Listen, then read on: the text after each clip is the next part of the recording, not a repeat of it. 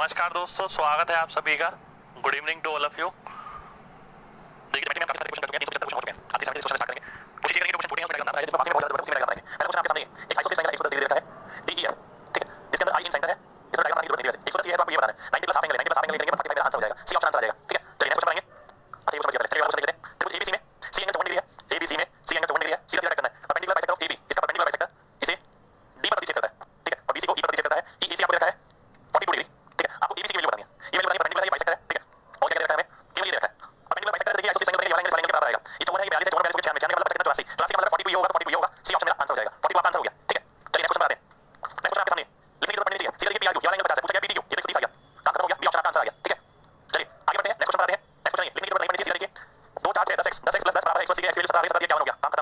他造假一个。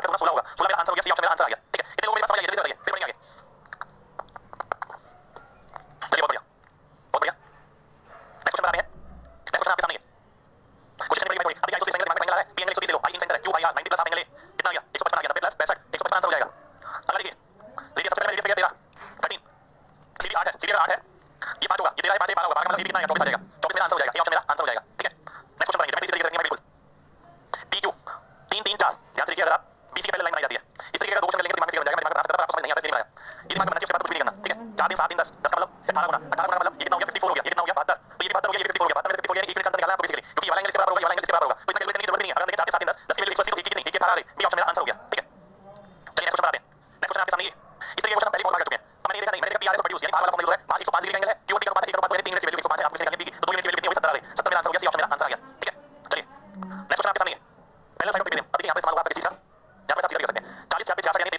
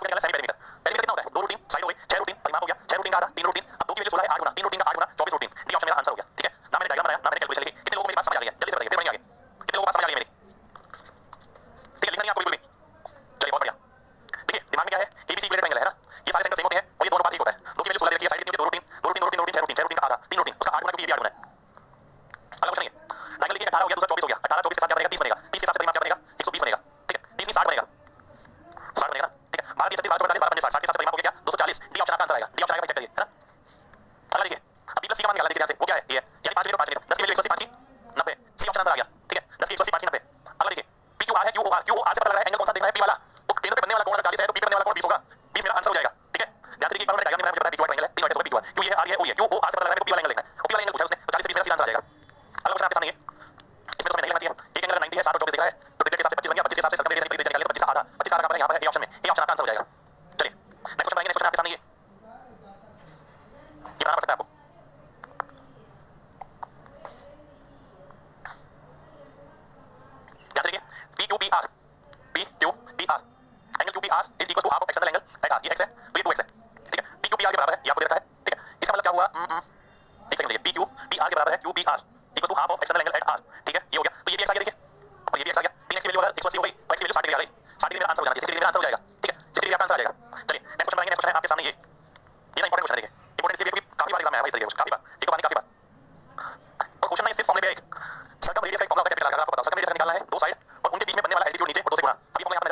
ये चार है दो साइड देखिए बारह और छह और सबका रेडियस निकालना है तो A B upon two S C ऐसे दोनों साइड के बीच वाला एटीट्यूड आठ में मात्रा आ जाएगा सी ऑप्शन मेरा आंसर हो जाएगा सी सी सी सी सी चलिए बहुत बढ़िया ठीक है और कुछ भी नहीं करना सीधा फॉर्म में फॉर्म कहाँ से आता है A B C upon 4 delta वाले पार्ट से फॉर्म आता है वाला है ना अगला क्वेश्चन आपके सामने है अब देखिए बच्चे क्या गलती करते हैं बताता हूँ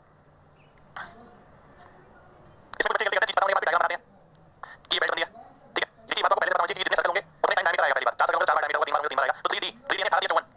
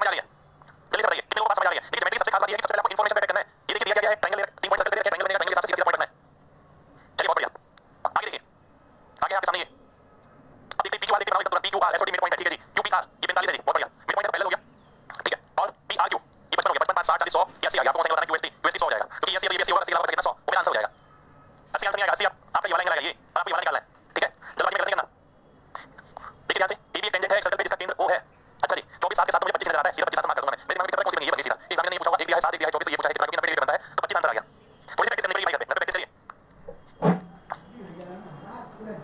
ये है क्वेश्चन आपके सामने ध्यान रखिए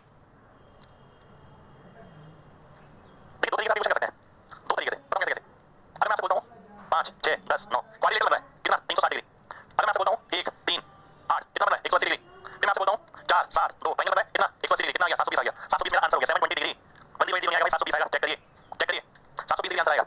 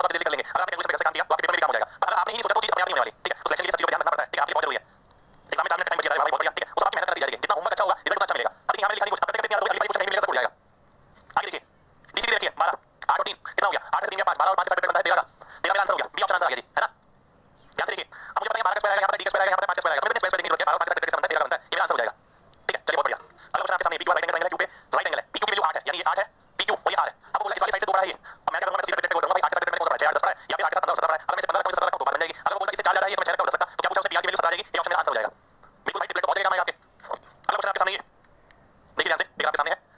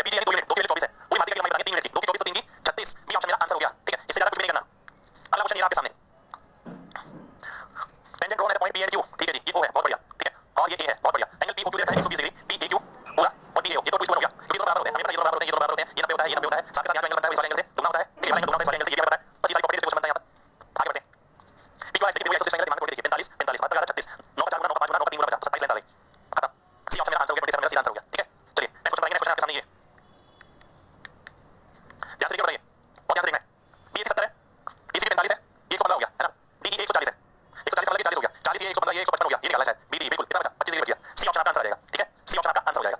नेक्स्ट क्वेश्चन बनाते हैं क्वेश्चन आपके सामने ये फिर से वही काम करिए, लिखना नहीं है। बी यानी केंद्र से वर्टेक्स की दूरी।